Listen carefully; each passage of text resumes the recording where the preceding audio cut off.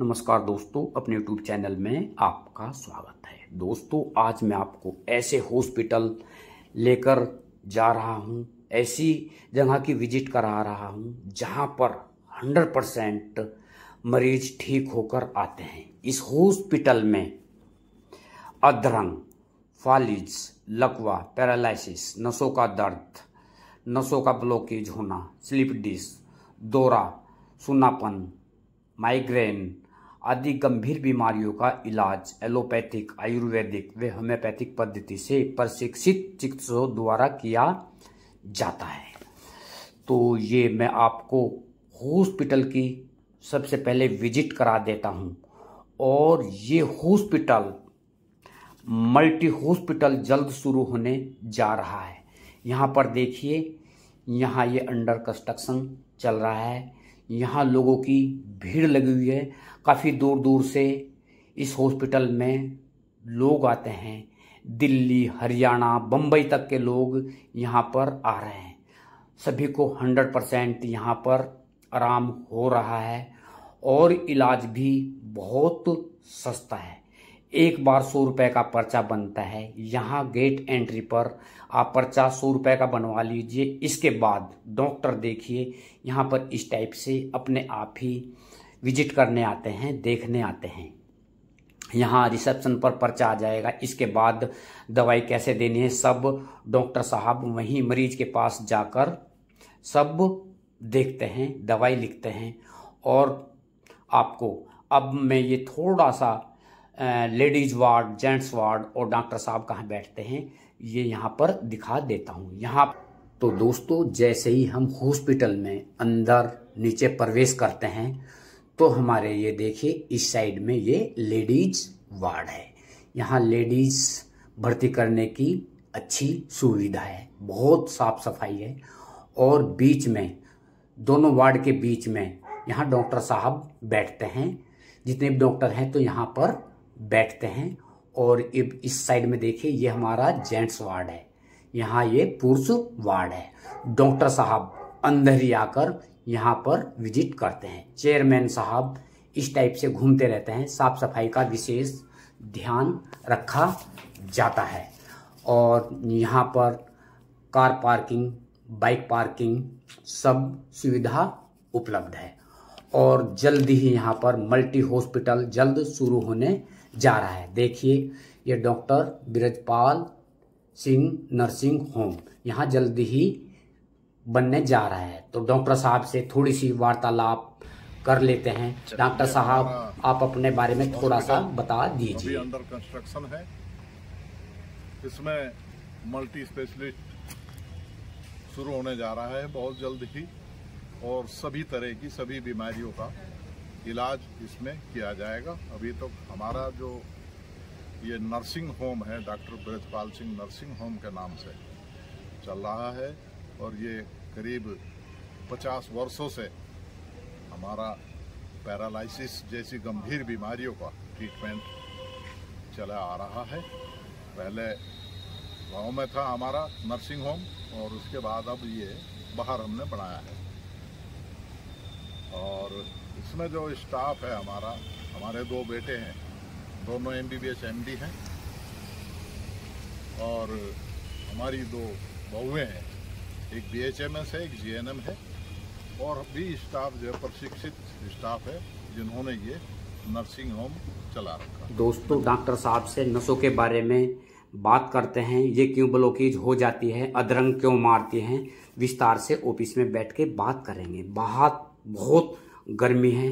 तो दोस्तों पिछली वीडियो में मैंने डाला था कि हम जगरोली किस किस रास्ते से पहुँचते हैं कैसे कैसे पहुँचते हैं पूरी डिटेल मैंने वीडियो में डाली हुई है। तो वीडियो को एंड तक ज़रूर देखना है।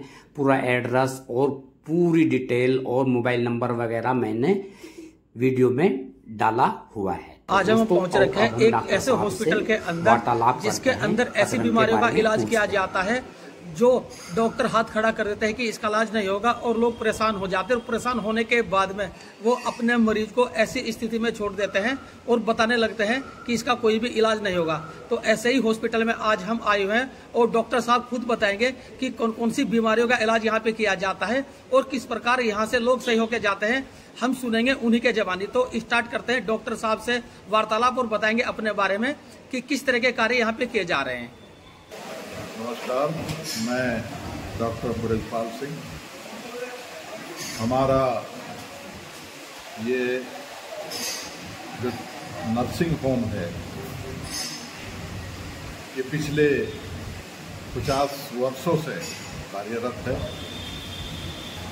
और ये ग्राम जगरौली में स्थित है। पहले ये गाँव के अंदर ही था। और अब जब से हमारे दो बेटे हैं, दोनों M B B S M D हैं तो वो करके आए हैं तो उन्होंने फिर ये हॉस्पिटल यहाँ चलाया है। और हमारे यहाँ जो है नर्वस सिस्टम की जितनी भी बीमारियाँ हैं, जैसे पैरालाइसिस है पैरालाइसिस को अधंग, लकवा खालिज पक्षाघात कहते हैं। तो इन सब का इलाज सफलतापूर्वक किया जा रहा है। इसके साथ साथ इनकी और भी कई बीमारियाँ हैं। जैसे सुन्न होना देशिया का सीआईटी का, का दर्द है स्लिप डिस्क है दौरे पड़ना है। और नर्व सिस्टम की जितनी भी कमजोरियाँ हैं कमजोरियों की वजह से बहुत सी दिक्कतें पेशेंट को खड़ी हो जाती है। उन सबका ट्रीटमेंट बहुत ही सफलतापूर्वक किया जा रहा है। और मैं आपको ये जानकारी दे रहा हूँ कि पैरालाइसिस एक गंभीर बीमारी है और ये कई कारणों से, वो कई तरह से आती है, जिसका बीपी बढ़ने से ब्रेन हेमरेज तक हो जाता है। जो ब्रेन हेमरेज की पोजीशन में आदमी अनकॉन्शियस हो जाता है तो उसको सबसे पहले फ़र्स्ट एड की ज़रूरत हॉस्पिटलाइज करने की ज़रूरत होती है। उसके बाद जब उसकी पोजीशन नॉर्मल होती है तो उसके बाद उसका ट्रीटमेंट किया जा सकता है। उससे अलग जितनी भी पैरालिसिस की बीमारियाँ हैं, जिसमें ब्रेन हेमरेज ना हो, उन उन बीमारियों में हमारा हंड्रेड परसेंट रिज़ल्ट है।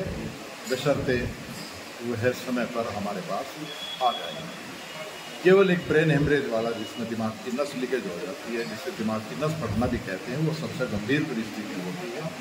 उसका ऑल ओवर ऑपरेशन से अलग कोई इलाज नहीं है, लेकिन 50 साल के बाद ऑपरेशन बहुत रिस्की होता है, इसलिए कोई भी चिकित्सक उसमें ऑपरेशन करने की सलाह नहीं देता और न करते तो इसलिए इसमें जितने भी बाद में है, उसका बीपी बढ़ने की वजह से है शुगर बढ़ने की वजह से है, और दिल की वजह से भी है, और शरीर के अंदर बहुत से जो कमजोरियाँ, जैसे शराब पीने से वो लीवर डैमेज हो जा, गुर्दे खराब हो जाते हैं, और लंग्स भी खराब हो जाते हैं, ज़्यादा स्मोकिंग करने से तो इससे भी ये बीमारियाँ पैरालाइसिस की आ जाती हैं। तो इसलिए अब जो है, इस कोई एक बीमारी नहीं रही है, कि केवल एक ही है तो इसका लक्षणों के हिसाब से उसी तरह से इसका ट्रीटमेंट हमारे यहाँ संभव है। और दूसरे हमारा जो है, हमारी बड़ी वो बहू है, वो बी एच एम एस है, और छोटी बहू है, वो भी जी एन एम है और बड़ी बहू अनु राणा है। तो ये सबकी देख रेख में ये ट्रीटमेंट चलते हैं। हमारा पूरी तरह से टेक्निकली है। सभी स्टाफ ट्रेंड है और सभी तरह की हमारे पास सुविधाएँ हैं और ये स्पेस भी हमारे पास बहुत बड़ा है। और अभी जल्दी ही हमारा जो मल्टी स्पेशलिस्ट हॉस्पिटल वो शुरू होने जा रहा है, जिसकी मैंने अभी बिल्डिंग आपको दिखाई है। और वो मेरे ही नाम से है। इसलिए क्योंकि मेरा बहुत पुराने समय से मेरे नाम से ही पहले नर्सिंग होम चला आ रहा है तो इसलिए मेरे नाम से ही ये अब भी चल रहा है। डॉक्टर साहब एक क्वेश्चन है मेरा।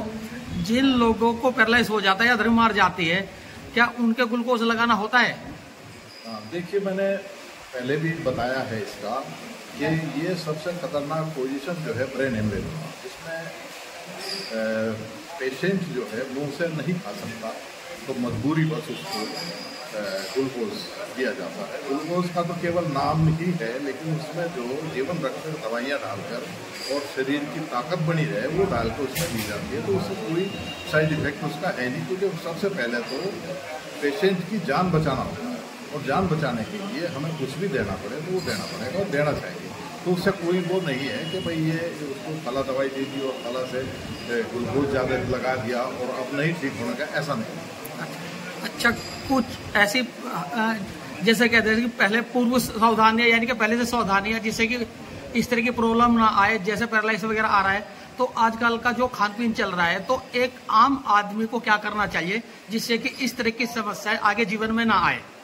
देखिए आजकल जो है सबसे बड़ा क्या है कि आज हम देख रहे हैं कि हवा नहीं रही इतना मशीनीकरण हो चुका हमारे इस पूरे संसार में ही कि उससे जो गैसेस निकल रही है तो वो कहीं ना कहीं हमारे मानव समाज के लिए हानिकारक है।